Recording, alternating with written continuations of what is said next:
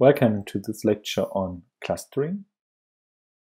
As you've already seen, we learned a lot about classification and regression as supervised machine learning tasks. And the distinguishing feature here was that we had features, we had an X, and we had classes, and our goal was prediction. Today we're going to learn about an unsupervised learning technique and here we only have features. The goal is exploration. So the idea is to find similarities in the data. There are a variety of different clustering approaches. There are partition algorithms, which are flat, and hierarchical algorithms, which take into account the hierarchy as the name tells. This lecture will mostly focus on partition algorithms especially k-means. But just to give you an overview, for the partition algorithms, we recognize k-means. We know that there's algorithms that are based on the mixture of Gaussians. There's also spectral clustering. And what they have in common is that they find similarities in the data. This is tried to be illustrate. So we try to illustrate this here with the Simpsons. So we have one cluster, for instance, and that's the Simpson family, right? That's one family. They have family resemblance. They are related to each other. And then there could be another cluster here, and that's the group of people that are employed by the school in Springfield. With the hierarchical algorithms, we distinguish between bottom-up approaches, so-called agglomerative approaches, and top-down approaches, divisive approaches. And what you can see here is you try to find uh, hierarchy here. You have the mother and daughter, these are in Marge, and you also have Patty and Selma as the sisters, and then they are again um, related to each other because Patty and Selma and Marge are sisters. Um, so here you try to have groups. You try to build, in both cases, you try to find groups, but for the hierarchies, it's about the structure, whereas the partitions are more flat. Why would you need clustering approaches? One popular application is the so-called image segmentation.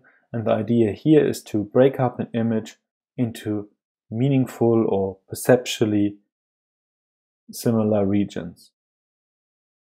Another famous application of clustering algorithms is to cluster the gene expression data. And there's a famous paper by Eisen et al. in which they analyze and display a large transcriptome, which is a microarray, um, which is an RNA sequence. And they use clustering to interpret the data by just finding similarities in the RNA sequences. Another example is vector quantization. So the idea here is to find ways of minimizing the data to compress images and to just only save the parts that really need to be saved, right? This is a compression problem that you find in a variety of image compression algorithms like JPEG and like GIF. And quite early on, they used these clustering algorithms to find large areas that can be subsampled. That means that they can be saved with a stronger compression rate than other samples because it's just a large area and not a phase with high frequency. So the basic idea of clustering is to partition a dataset into groups. And the idea is that points in one cluster are supposed to be similar to each other. And I'm now going to give you a step-by-step -step overview on how such an algorithm works. You have data, but you have no labels, as we explained already. And it's really useful when you don't know what you're looking for. So let's pretend this is our data set, and that could again be the handwritten digits that we already considered. That could also be the breast cancer data, but here we don't know which is which. We just have these data points, and quite intuitively, you would agree with me that this, of course, is the perfect clustering. I mean, that's also the idea that I had when I made this example, but there's also a variety of different ways of clustering this. There could be a clustering like this. So there's a group on top and one on the bottom. There could be a group like this. And The idea is to find ways of computing such clusters without external knowledge. And that's exactly what the so-called k-means algorithm is doing. Here again, we have three examples, and the idea is quite simple. We want to have a number of groups, and that's the k in the k-means. So here we say we have an hypothesis, we estimate, we think that there are three groups in the data.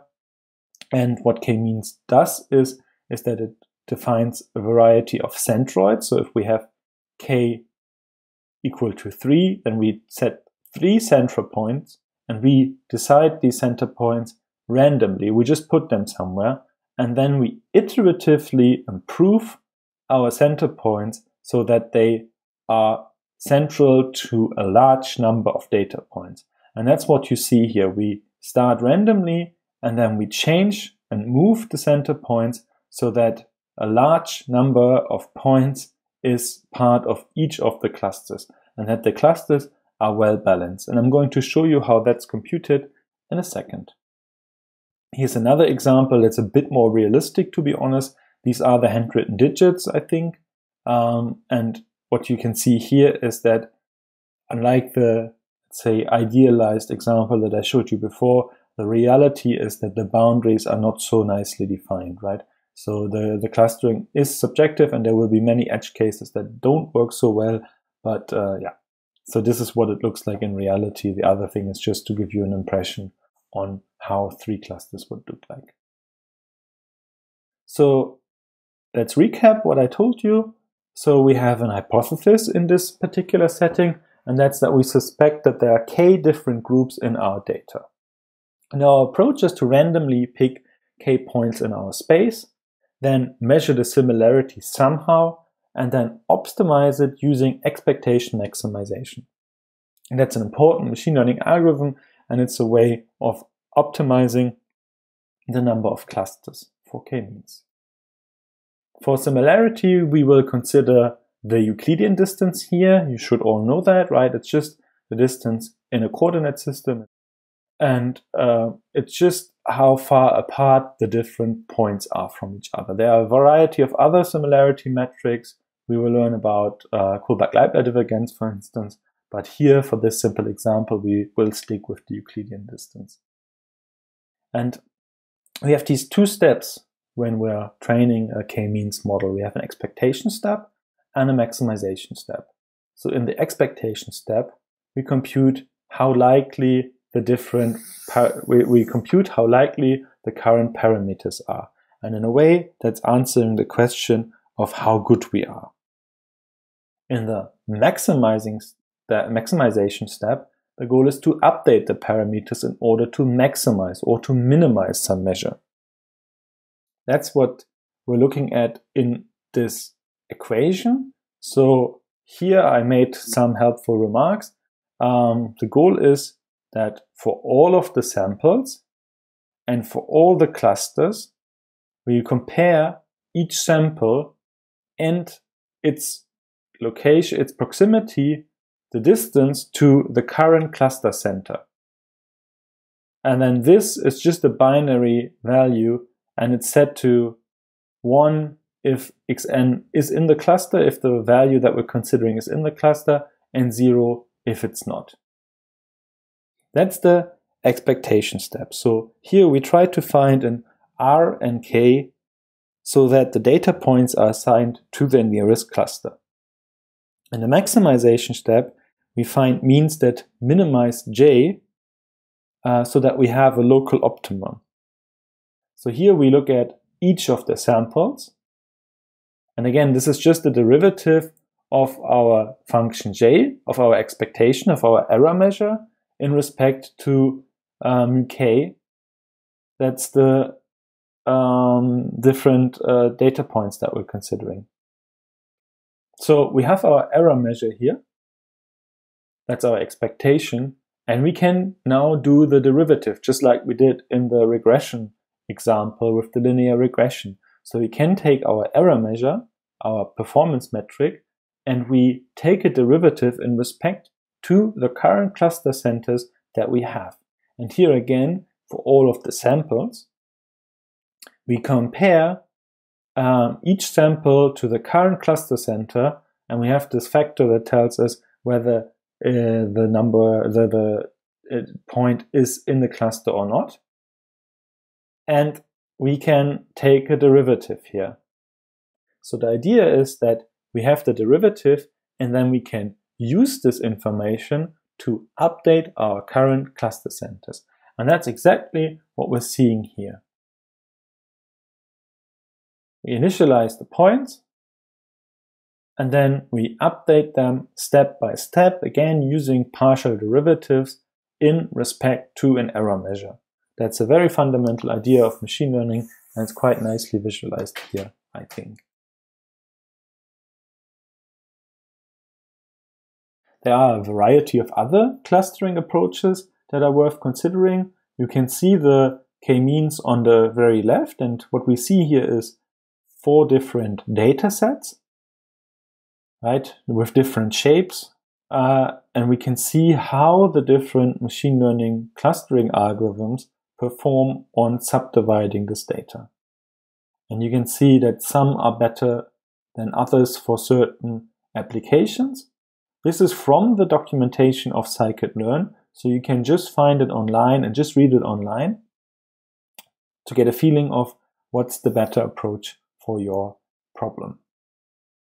You have to be careful because such algorithms are prone to fall into local optima. And that's why it's really important to look at your data and to visualize your data. For instance, if we look at the one here on the left, we see that here we have two center points very close to each other um, in data that looks quite similar. So here it would probably be better to have one more cluster, to just have one cluster.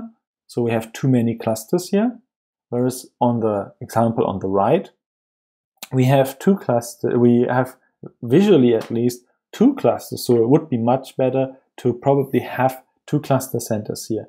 And in a way, that's how you determine the K. Empirically, that means through trying out different metrics and to see how they perform. Coming back to the clustering algorithms, so I showed you a partition algorithm here in detail, the k-means algorithm. There are also hierarchical algorithms uh, like agglomerative clustering. And here the idea is quite simply to work bottom up, right? So you First, try to merge very similar instances and then incrementally build larger clusters out of smaller clusters.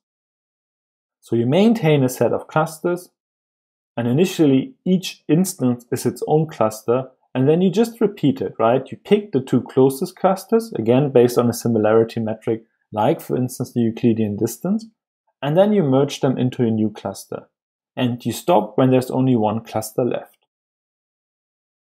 The question is, of course, how do we define the closeness of different clusters to each other if they have multiple elements? And here are sketched out different ways. You could take the average, that's what's shown on the bottom. It's the average of all the points in cluster A compared to cluster B. But you can also use the closest point and the closest pair, right? The two points that are the closest to each other or the pair that is the furthest apart.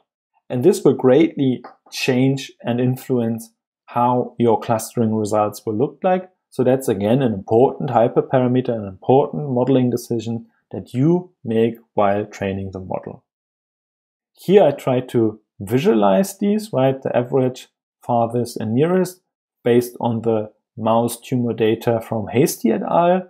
And you can see that it really has a strong influence on the result which also shows that these algorithms are not magic, right? They don't know anything in a way. They just follow a set of rules and then they come up with some order based on the criteria that you defined.